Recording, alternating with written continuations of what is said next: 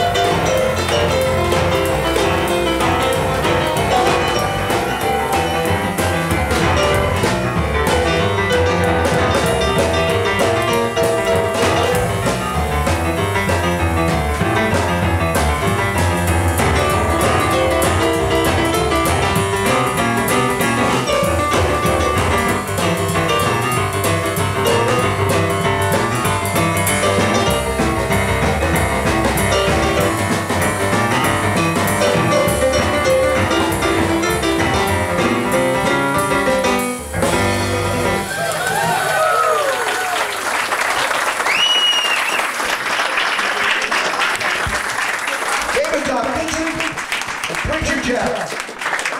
And it's a blessing that all of us together today could be just what we are. Ourselves in the presence of one another, that we may all be one in the great spirit of life.